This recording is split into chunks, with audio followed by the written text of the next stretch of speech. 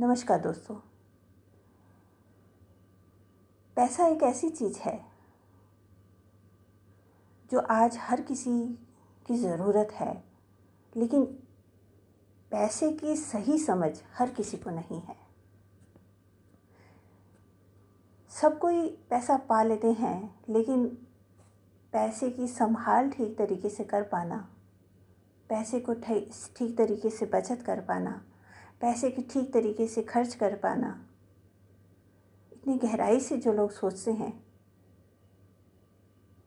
वो लोग पैसे को संभाल भी लेते हैं। और पैसा पाने के सिर्फ़ वो सिर्फ़ तीन ही तरीके हैं, चाहे दुनिया में कहीं भी जाकर आप देख लें। क्लियर करूँगी इस चीज़ को थोड़ा सा।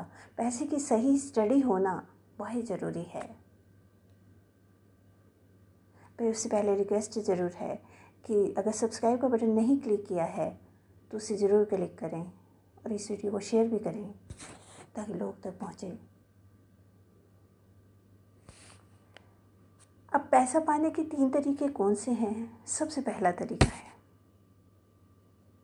सबसे पहला तरीका है किस्मत। किस्मत से किसी को पैसा मिल जाता है। किसी बाप दादा की दौलत मिल गई। या कोई बच्चा ही पैदा हुआ है तो ऐसी रिच फैमिली में पैदा हुआ है कि सात पुश्ते बैठ के खा लें। ये किस्मत है। किस्मत। लेकिन ये किस्मत जो है वो हर किसी की नहीं है। क्योंकि एक ही टाइम पे एक भिखारी के घर में भी बच्चा पैदा हो रहा है और ए उसी टाइम उसी समय, उसी पल एक करोड़पति के घर में भी बच्चा पैदा हुआ है। कहाँ मिलती हैं कुंडलियाँ? दोनों एक ही टैंक पे पैदा हुए हैं, लेकिन एक सोने का चम्मच मुँह में लेकर पैदा हुआ है। और एक जहाँ खाने के लाले हैं, उस घर में पैदा हुआ है। ये किस्मत है।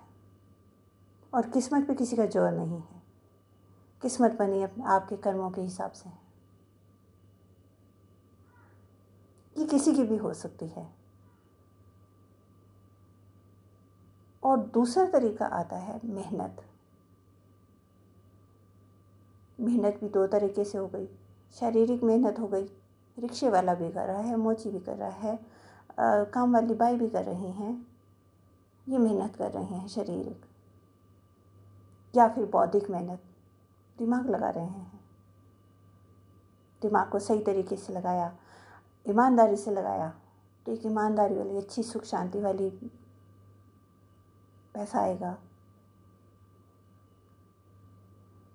और अगर गलत कामों में लगाया, जुआ, चोरी, चकारी, बौद्धिक मेहनत, कहीं मिक्स है बौद्धिक और शारीरिक मेहनत। एक तीसरा तरीका भी है। ना आपकी किस्मत है, ना आपसे मेहनत होती है और आप बैठ जाइए, भीख मांगना। भीख मांग कर गुजारा करना। भिखारी भी अमीर हैं। पैसे वाले हैं। बस ये तीन तरीके हैं पैसे। आप देखिए आपके पास किस तरीके से पैसा आना चाहता है। किस्मत से आता है, मेहनत से आता है या भीख मांग कर आता है। आप लोग स्वस्थ रहें, खुश